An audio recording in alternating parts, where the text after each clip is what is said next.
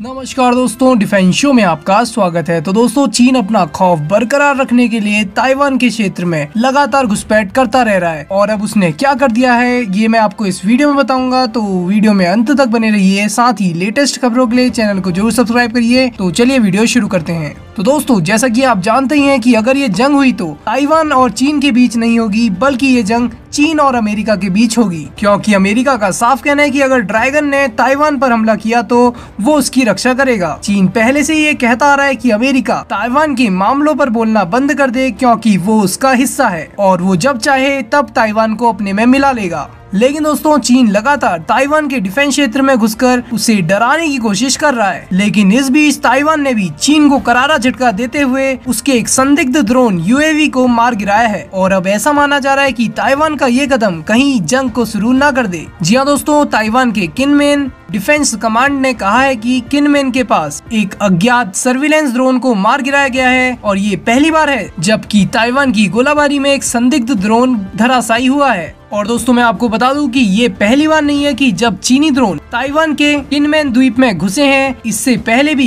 कई ड्रोन इस क्षेत्र में आए थे, मगर मगर ताइवान इन पर जैसे ही वार्निंग शॉट दागता था तो ये भाग खड़े होते थे। तो दोस्तों, अमेरिका चीन के खिलाफ ताइवान का खुलकर समर्थन कर रहा है, जिससे ताइवान का आत्मविश्वास चरम पर है और अब ताइवान की रक्षा मंत्रालय ने प्रतिबंधित जल के ऊपर उड़ रहे एक सर्विलेंस ड्रोन को मार गिराने की पुष्टि की है। जी हाँ दोस्तों, इसी बात को लेकर चीन के एक पत्रकार हुसिंग जिंग ने एक ट्वीट में लिखा था कि ताइवान के सैनिकों को चेतावनी, मेनलैंड के ड्रोन को कभी भी नीचे न गिराए। संभवतः वे नागरिकों से संबंधित हो सकते हैं, लेकिन अगर उन्हें नीचे गिराया गया तो पीएलए ताइवान पर एक्शन लेने पर मजबूर हो जाएगा। और दोस्तों, मेरा भी यही मानना है कि ऐसे में ताइवान ने इस ड्रोन को गिरा तो दिया, लेकिन आगे ड्रैगन क्या करेगा, इसका कुछ भी नहीं पता। हालाँकि चीन को भी अच्छे से पता है कि अगर वो ताइवान पर हमला करता है तो इससे सबसे ज़्यादा नुकसान उसे ही होगा। और दोस्तों, मैं आपको बता दूँ कि पिछले चार दिनों में चीन के चार सर्विलेंस ड्रोन ताइवान के हवाई क्षेत्र में घुसपैठ करते हुए पकड़े गए हैं और इन पर किनमैन डिफेंस कमांड ने चार बार गोलाबारी की है। तो दोस्तों, चीन की इस ग्रे जोन रणनीति को ताइवान के अधिकारी बीजिंग के